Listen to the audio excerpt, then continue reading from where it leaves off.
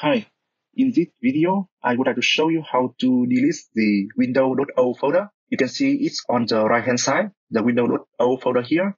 After I upgrade from the Windows 10 to Windows 11, and the current versions on my window is Windows 11 Pro version.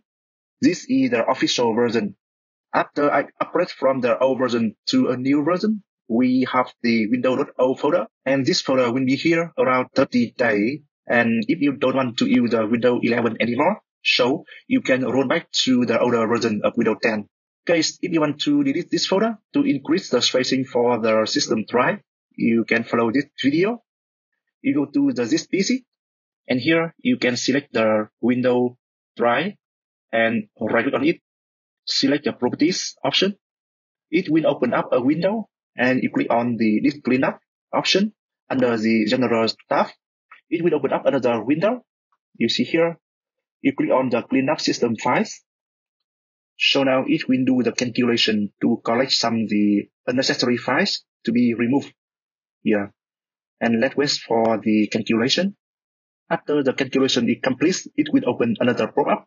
You see here, we have some the file to delete option. You can select the Microsoft Defender antivirus the window upgrade log files. And you scroll it down, we have some the temporary internet files. You can select this one. Scroll it down. And you see here, we have the option in previous window iterations here. Let's select this one. So if you select this one, that means you want to be delete the window.old folder here.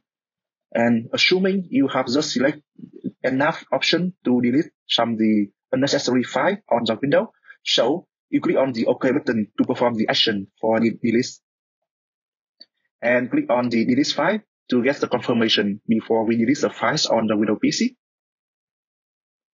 And after that, it will trigger the cleanup job. You have to wait until the cleanup is complete. Here, click on Yes button depending on the sizing of the unnecessary files on your machine. So it will take some time for delete. Yeah. So you see here, after we delete the Windows.old file, the spacing of the system drive has been increased here. Let me open the window. And you see here, we don't have the Windows.old folder anymore. Yeah. So I hope this video will be helpful for you. After you finish this video, you know how to remove the window.old folder to increase the spacing for the PC. Okay, thank you. Bye bye. See you guys in the next video.